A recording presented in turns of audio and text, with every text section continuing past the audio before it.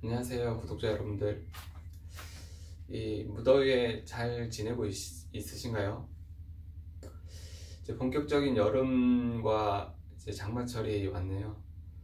항상 건강 잘 챙기시고 그 코로나 조심하시고 항상 행복하고 음, 맛있는 음식 많이 드셨으면 좋겠습니다.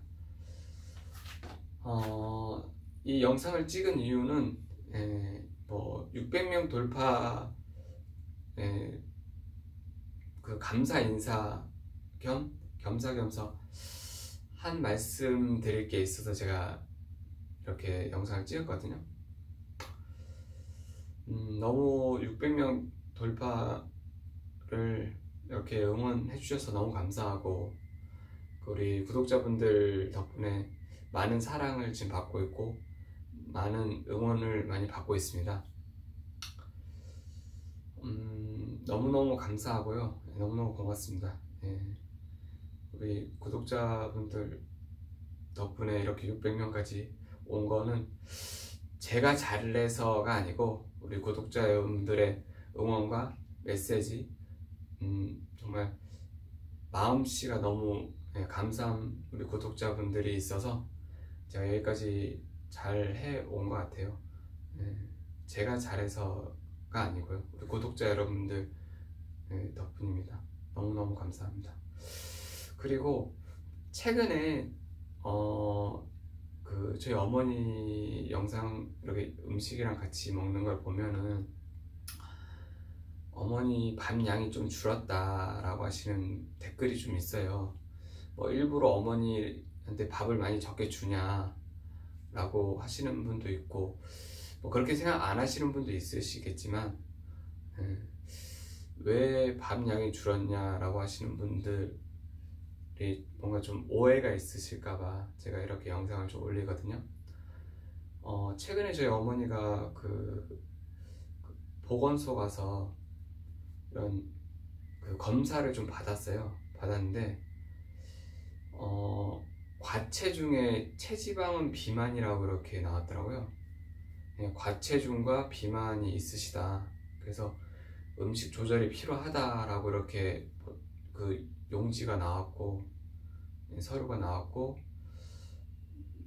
그래서 아, 어머니 음식 조절을 좀 식단을 좀 조절을 해야 되겠다 해서 최대한 어, 뭔가 좀 탄수화물을 많이 드시는 것보다는 어, 야채나 단백질, 뭐 생선 뭐 이런 뭐 이렇게 그런 쪽으로 많이 해서 뭔가 좀 어머니의 식단 조절이 필요할 것 같아서 예, 제가 음, 그렇게 지금 조절을 하고 있어요. 예, 어, 그리고 어머니의 건강을 위해서 음, 그렇게 하고 있다는 거는 우리 구독자 여러분들도 잘 아실 거예요. 예. 그래서 음, 오해가 있으시지 않게 제가 이런 것도 미리미리 영상에 미리 올렸어야 되는데 제가 한편으로 죄송하네요.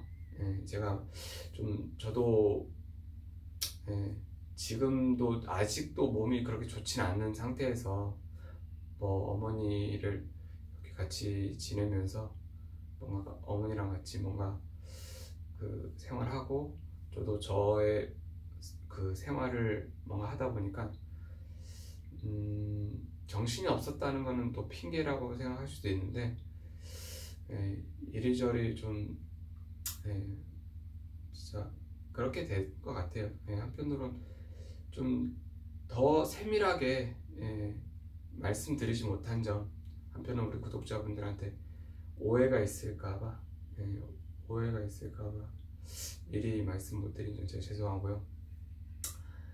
항상 어머니 그 건강과 저의 건강을 예, 기도해 주셔서 너무너무 감사합니다. 항상 그 저도 우리 구독자 여러분들을 위해서 항상 기도하고 예, 기도하고 그 응원하겠습니다. 음, 아무쪼록 그 여름 음, 이번 여름도 너무 더운데 항상 건강 잘 챙기시고 항상 아프지 마시고 그리고 우리 구독자분들 본인과 구독자분들의 가족분들 그리고 구독자분들을 사랑하는 모든 지인분들 항상 건강하시고 행복하셨으면 좋겠습니다. 아, 너무너무 감사합니다. 음, 고맙습니다.